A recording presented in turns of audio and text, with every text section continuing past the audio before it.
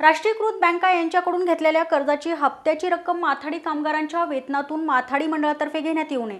हा- चुकीचा निर्णय आहे. या निर्णयाने कामगारांमध्ये असुरक्षिततेची भावना निर्माण झाली असून खळबळ उडाली आहे.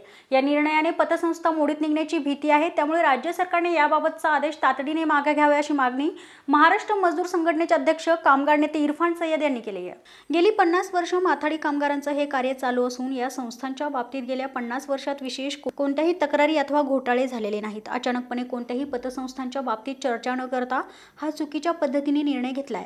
त्यामुळे माथाडी कामगारांमध्ये खळबळ निर्माण झाली आहे यातून पतसंस्था मोडीत काढण्याचा डाव दिसत आहे. पन्नास वर्षानंतर माथाडी मंडळ माथाडी कामगारांचे मालक नाहीत हा निर्वाळा दिला गेलाय. सरकारने कार्यालयांमध्ये असलेलं कामकाज परंपार पद्धती यांचा काहीही विचार केल्याचं पाहायला मिळत नाही. माथाडी मंडळ हे नोंदीत माथाडी कामगारांचे पगार वाटप करणारी संस्था असल्याने माथाडी कामगारांचे अधिकारपत्र ग्राह्य धरून होत असलेला पगार अथवा देय रकमेतील परंपरा यापुढे अखंड चालू राहणार राहणं आवश्यक आहे. त्यामुळे सरकारने घेतलेला हा निर्णय तात्काळ रद्द करावा अशी मागणी यावेळी सय्यद यांनी केली आहे.